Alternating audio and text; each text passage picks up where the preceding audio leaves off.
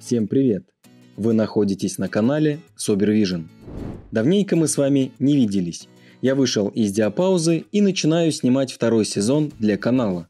Сегодня я покажу вам ту единственную семью муравьев, которую планировал забрать с передержки. Это пробковые муравьи Колобопсис трункатус. Мне казалось, спустя пару лет эта колония сможет окрепнуть, но произошло нечто. Итак, давайте окунемся немного в историю. Напомню, что эту колонию я поселил формикарий, который сделал из малой самосборной арены. В качестве дерева было выбрано небольшое дубовое полено. В нем я вырезал ходы, которые уходили в гипсовую основу. Вход был сделан в дереве, чтобы муравьи смогли проявить свои природные инстинкты и держать его на замке, закрывая проход своей головой пробкой.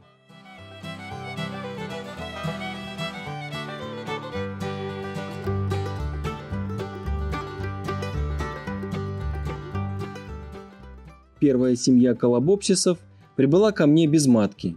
В ней был только солдат. Он очень умело изображал королеву. Это вело меня в полное заблуждение. Все вскрылось после заселения этой семьи в формикарий. Псевдокоролева стала дежурить у входа и функционировала в качестве живой двери. Со второй попытки мне повезло, и ко мне приехал полный комплект. Семья была заселена в формикарий и начала постепенное развитие. Она пережила одну зимовку и немного прибавила в численности. После этого она была передана на передержку. Мои друзья почти сразу отправили пробковых муравьев на зимовку. Теперь давайте посмотрим, как она пережила нахождение в холодильнике. Ну что ж, посмотрим.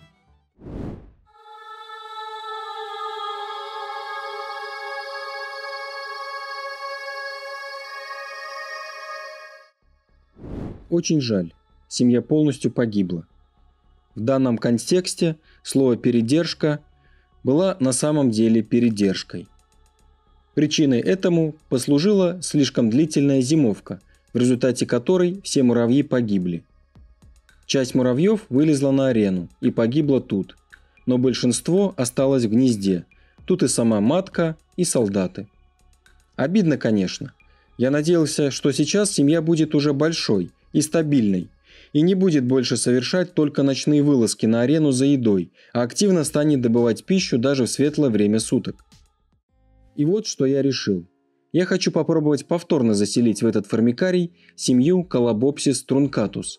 Если у кого-то есть возможность продать мне желательно большую семью этих муравьев, пишите мне на почту, в ВК или Инстаграм. Все ссылки находятся в описании к этому видео. Надеюсь, что вскоре вместе начнем наблюдать, как новая семья будет осваиваться в этом формикарии. Ну а на сегодня все. Не забывайте подписаться на канал и поставить лайк этому видео, если оно, конечно, вам понравилось. А я в ближайшее время займусь созданием природного формикария в моем остановленном аквариуме. Всем пока!